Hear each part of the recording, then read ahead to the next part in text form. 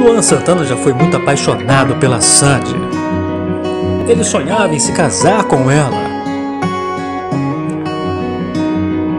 E ficou devastado quando soube que ela estava apaixonada por Lucas Lima. Saiba que eu sempre tô aí.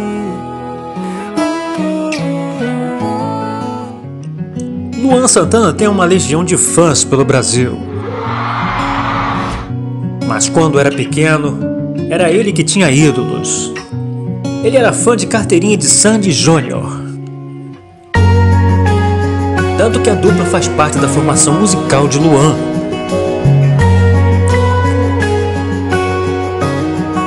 Eu ficava na frente do espelho com a minha prima, com a colher na mão, Fingindo cantando. que era. Ela era a Sandy, eu era o Júnior.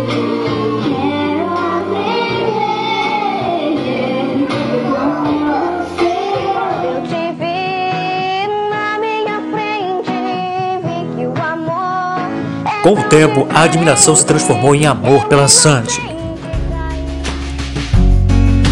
Na adolescência, Luan era apaixonado por ela. Rezava todos os dias para conhecê-la. E pedia a Deus para se casar com ela. Eu acordava todos os dias de manhã e eu lembro de eu pegar o meu joelho, colocar no chão, juntar as mãos e falar assim: Meu papai do céu, me ajuda a casar com a Sandy. Ele viveu essa paixão platônica por anos. As esperanças só acabaram quando Sandy começou a namorar.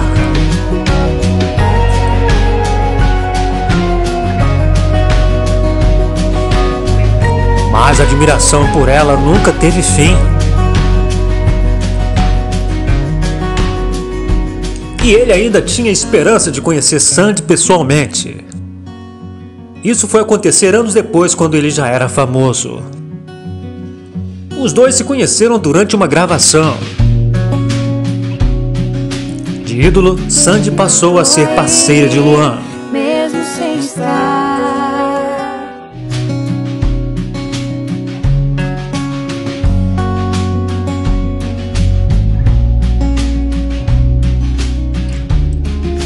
Luan não realizou o sonho de se casar com Sandy.